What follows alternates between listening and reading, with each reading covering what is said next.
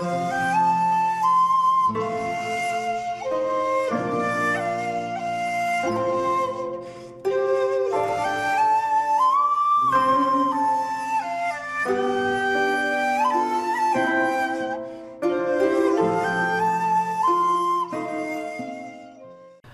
there, this is Solitary Ronin from Solitary Ronin Films, and welcome to another Top 10.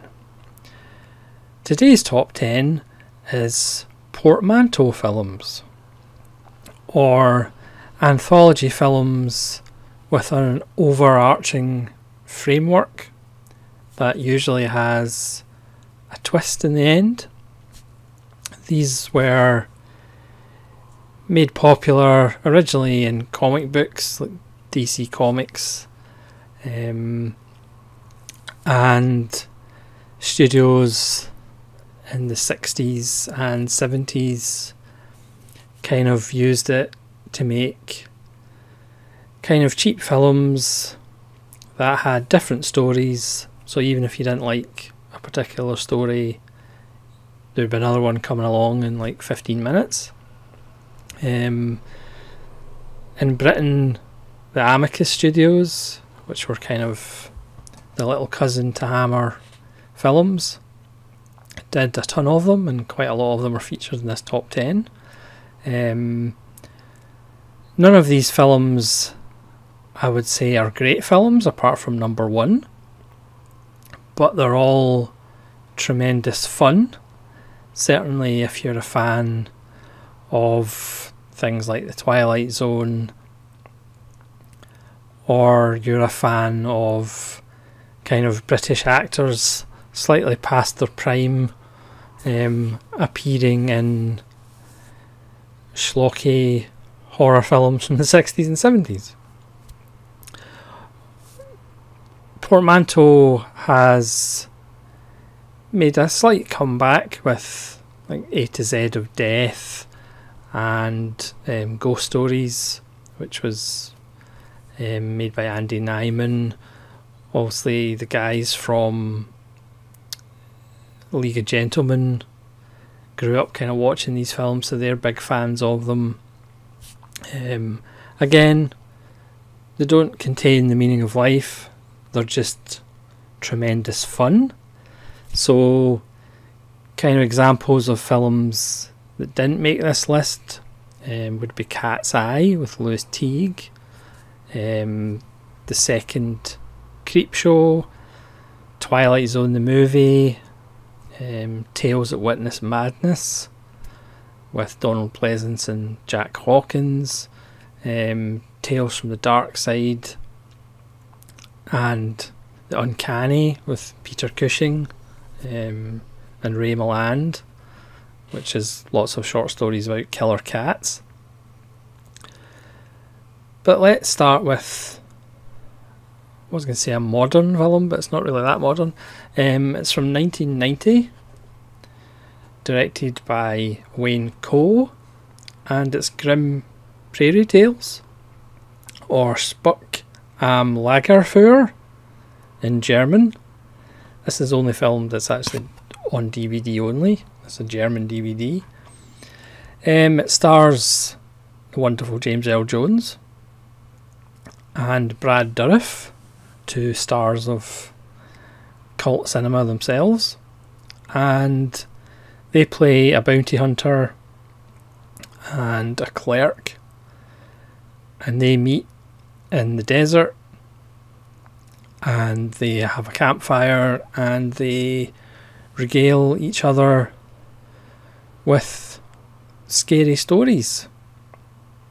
The stories include um, the early versions of the Ku Klux Klan, um, a wandering woman who isn't quite what she seems, um, an old um, guy disturbing an Indian burial ground, and a gunfighter haunted by the ghost of one of his victims.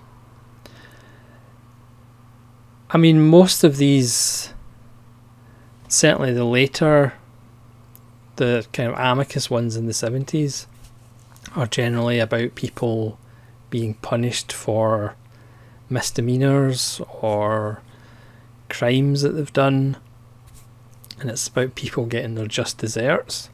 Um, Grim Prairie Tales is not necessarily a horror film. Um, it's just entertaining, and it's generally the relationship between James Earl Jones and Brad Dourif and the banter between the two of them, um, which is really the highlight of the film. Kind of less so than the stories. The stories are more slightly creepy rather than being horrific. So that's number 10, Grim Prairie Tales. Number 9 is George Romero's Creepshow. This is a nice Scream Factory version of it.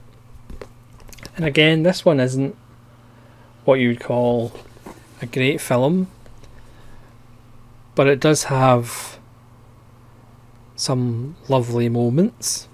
Usually, in some of these films, there's a kind of comic, a kind of funny tale that generally doesn't really work. And in this case, it stars Stephen King as somebody who finds a meteorite and some green goo coming out of the meteorite, which ends up taking over his life. Um, King wrote the script for Creepshow and Romero directed it. Um, there's a nice story with Leslie Nielsen and Ted Danson, who punishes Ted Danson by um, burying him in the sand up to his neck and waiting for the tide to come in. Um, Leslie Nielsen, obviously, at this point, this was before his spoof days of Naked Gun and Police Squad. So again, it's weird seeing him in a serious role. Um, and he does play a very nasty piece of work, who obviously gets his cup up, comeuppance. I'm not going to go into spoilers, obviously, because the enjoyment is in watching these and trying to guess the ending. Granted, some of them are fairly predictable, but they're always um, really enjoyable. There's a another story about a strange creature who's kept in a cage, and um, is a good way of getting rid of annoying spouses like Adrienne Barbeau. But for me, the story that really always makes me uncomfortable is the one with E.G. Marshall, who again plays a fairly horrible character. Um, who lives in this spotless futuristic apartment and he's a clean freak. He wants everything clean and then he finds that he has a cockroach problem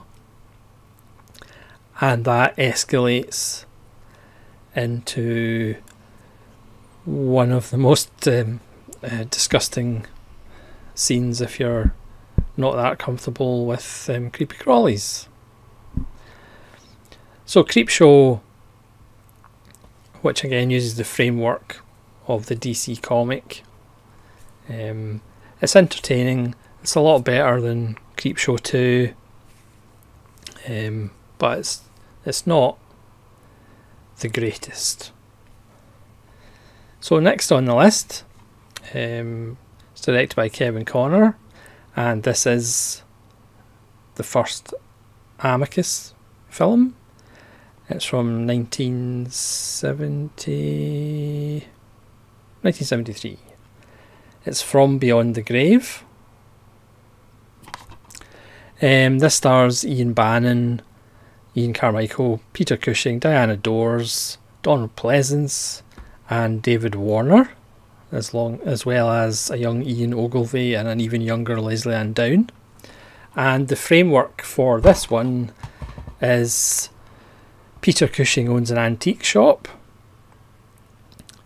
and characters come in and either steal things, so they've got to be punished, or fiddle with the prices, and they've got to be punished.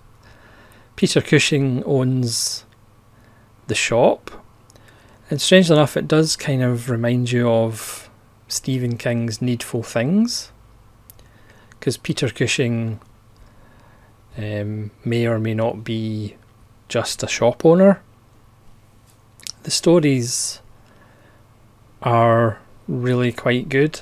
Um, there's one with David Warner and a slightly possessed mirror, and Warner gives a really good performance as somebody who comes under the spell of the mirror and has to do um, things more on haunted mirrors later in the list. There's also a really creepy story with Ian Bannen and Donald Pleasence. Um, Ian Bannen likes to talk himself up. He's browbeaten by his wife, Diana Dors. Um, so he steals a medal from the antique shop and builds a rapport with Donald Pleasence, who sells string and such um, on the street, and gets invited back to Donald Pleasence's house for dinner and meets his daughter, and um, his life becomes a lot more enjoyable meeting them. But there's something going on, forces at work um, again, I'm not going to go into spoilers, but it's a nice, creepy um, little story. Um, the story with Ian Ogilvy and Lesley Down is about a large ornate door that Ian Ogilvy buys, um, which opens up into another room. It's very Edgar Allan Poe. Um, and that leads to a dark discovery of where the door and what the other room in another world um, leads to. Again, not going to go into spoilers, but again, it's got a really good framing story. Peter Cushing is fantastic as he generally always is. Peter Cushing does appear in quite a lot of these films, um, so sometimes it is hard to remember the stories because they do tend to all bleed together, especially if you watch them all in a bunch, as I've done. Um, but From Beyond the Grave is a really nice one.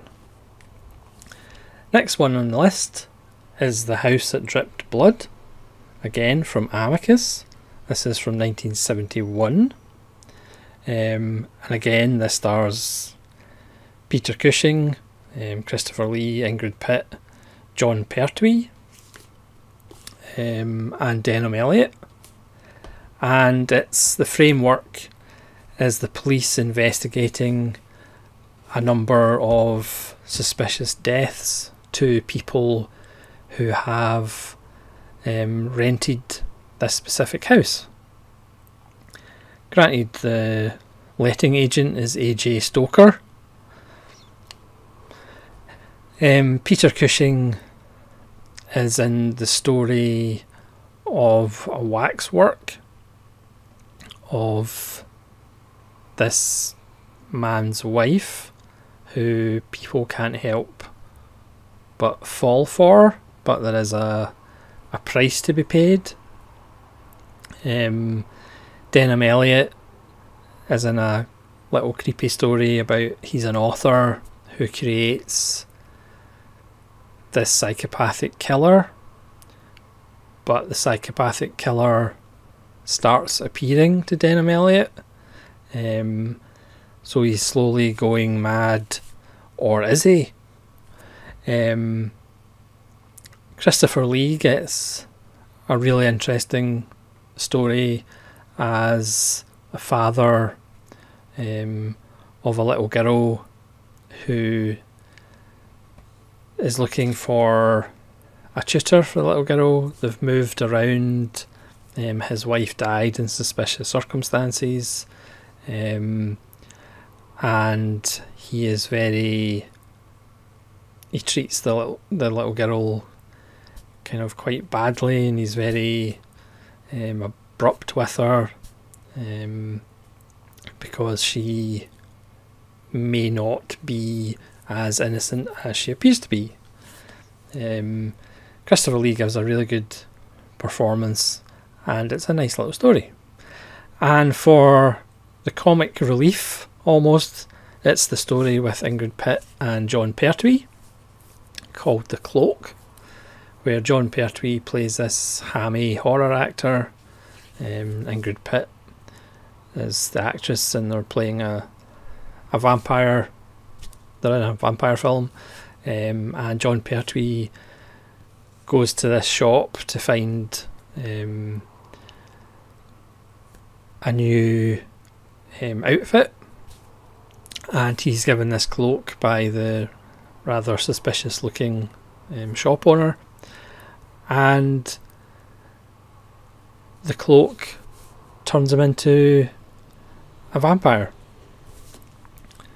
And with much hilarity goes on, um, and it's hugely enjoyable. So that's the house that dripped blood. Well worth checking out in this lovely second sight film's release. Next on the list is another Amicus.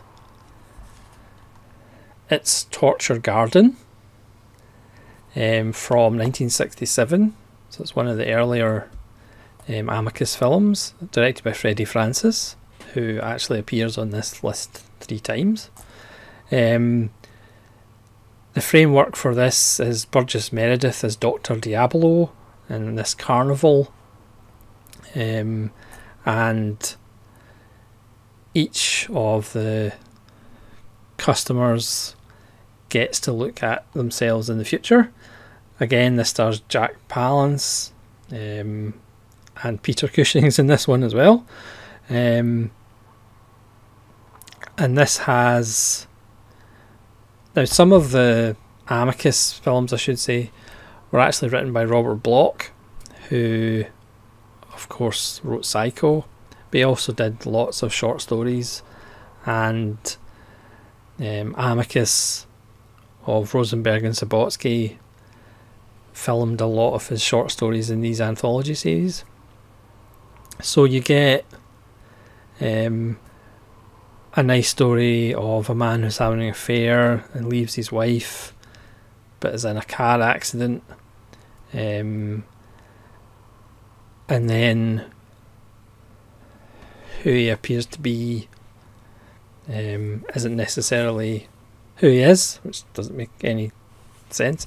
Um, you also have Jack Palance um, in an episode with Peter Cushing, who Peter Cushing may or may not be keeping Edgar Allan Poe locked away. Um, and Jack Palance is a huge Poe fan and wants the character to write for him. Um, it's perhaps not the best one, but there's still a lot of fun to be had. Um, and obviously, Indicator, I think this is out of print now, but Indicator do have a bunch of really good extras on it as well. So that's Torture Garden at number six. Number five is Vault of Horror, which is available on the double disc with Tales from the Crypt. This is Vault of Horror, which is um, from 1973, directed by Roy Ward Baker, who strangely enough appears twice on this list. Um, and this features characters who are trapped in a lift and go down in the lift and they're stuck in this vault and they tell each other about their recurring nightmares. So there's one about a man who is trying to find his sister and tracks her down in this small town where everybody may be something suspicious. There's one about a magic trick, um, a disappearing rope trick, which is stolen um, by Kurt Jurgens, and obviously revenge is wreaked upon him and his wife in a fairly nasty way. Um, there is Tom Baker, who's an artist who gets wronged and somehow for his revenge he manages to find this thing where if he paints somebody whatever happens to the painting happens to them um, but he also has to do a painting of himself which he hides away so it's not damaged um, this also stars Denholm Elliott as his foe in this story um, and again it's quite a a nasty little um, story. That's why the characters get their comeuppance. Um, you also have the wonderful Terry Thomas, who loves everything to be neat, and his wife's always messy, and he continually harps on to her about everything's got to be neat. So um, she takes that into her own hands um, and yeah, I'll leave that one there. Again, the stories are a lot of fun. Um, the twist in the tale is perhaps predictable, but it's just all these films are just enjoyable little treats. Again, they're not going to give you the meaning of life, but they're just fun ways to spend an hour and a half. So, number four is Asylum, again on Second Sight. And this is from 1972, and again, this is Roy Ward Baker who directed it. And again, it stars Peter Cushing and Herbert Lom and Robert Powell, amongst others. And the framework is Robert Powell goes for an interview at this asylum and he speaks to Herbert Lom, who's a doctor there, and the previous doctor has went insane and is now one of the four people who Robert Powell gets to interview, and he has to figure out which one's the doctor. Um, so we have a story with Charlotte Rampling and her alter ego we have a story with Peter Cushing as um, as a man who employs a tailor to make a very strange suit for a very strange purpose. You also have the story of a man who's having an affair who wants to get rid of his wife and chops her into little pieces. Um, but the pieces won't uh, stay dead. So again, it's got nice stories, and the framework is really quite nice and quite um, chilling so that's number four, Asylum. Number three is Tales from the Crypt, from the double bill with Vault of Horror. Again, this is Amicus. This is from 1972, and again, it's Freddie Francis. Um, and Tales from the Crypt stars um, Ralph Richardson, along with Peter Cushing. Um, who else we've got? Ian Hendry, Joan Collins, um, Patrick Magee, Richard Greene.